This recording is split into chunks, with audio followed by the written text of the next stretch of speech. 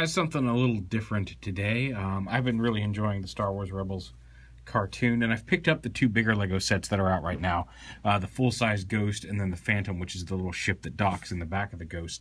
And I've really been enjoying them. Uh, I really love this ship design. Uh, the, car- the cartoon's good. It's set about four years before A New Hope, so everything looks familiar. Stormtroopers are stormtroopers, and uh, Imperial officers are Imperial officers. It, it's just a nice show. We'll see where it goes, but I really am enjoying it so far, and I really, really love the design of the Ghost. So uh, when I got the big Lego sets, um, I remember they had done a little micro fighter version for Comic Con, so I hunted one down. Here it is. It's number 726 of 1000. Yeah, and I gotta say, just the packaging on it is really nice. It's got all the little. It's a it's a Lego Comic Con version and uh, just a really nice reusable box. It's normally sealed here with a, some tape and a little clear sticker over here, uh, which is already open just to show it off. Now I'm going to actually go, since I, I, picked up one of the new iPhones, which has an automatically built-in time-lapse feature on it. So I'm going to mess around with that tonight, uh, try it out for the first time, and actually build this. Uh, we're going to time-lapse the, the build part of it, but uh, just to show off this little, this little Lego set because it looks like it's going to be pretty cool. So in the box, you open it up, and you've got a bag with all 132 pieces, and of course, the instruction manual.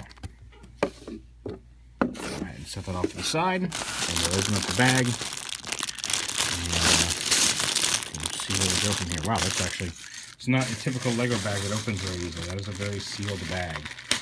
There we go. Go ahead and put Chopper together first. Chopper is a little astromech droid. It is uh, his designation is C1-10P, which, if you write that out, looks like the word chop. Uh, and that's where his name comes from.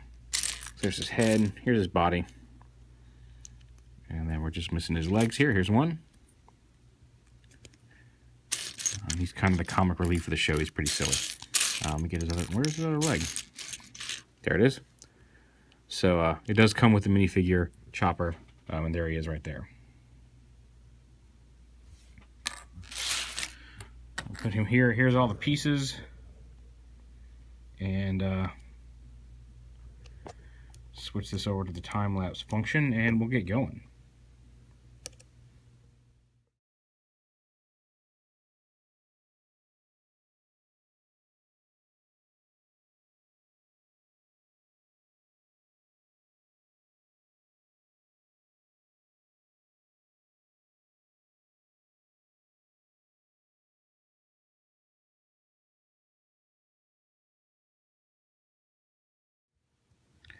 And there is the finished Ghost ship there.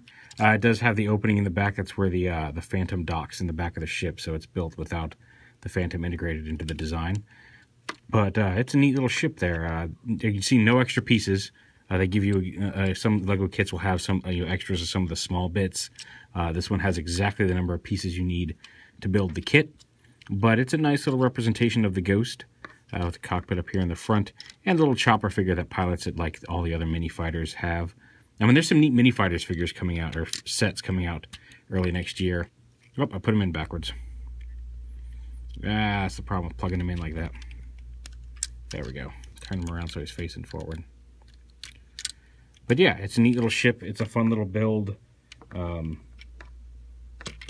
I do recommend the larger sets. The big Ghost is really cool, and especially if you get the Phantom with it, so you can uh, have most of the cast of the show, everybody except for Sabine, unfortunately.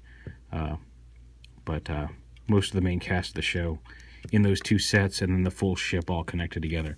But it's, it's a really nicely designed ship. It has shades of Millennium Falcon and other type freighters, but it's a really neat little ship. There's the Ghost from Star Wars Rebels. Uh, this is the SDCC uh, exclusive a microfighter version of the Ghost with the Chopper minifig.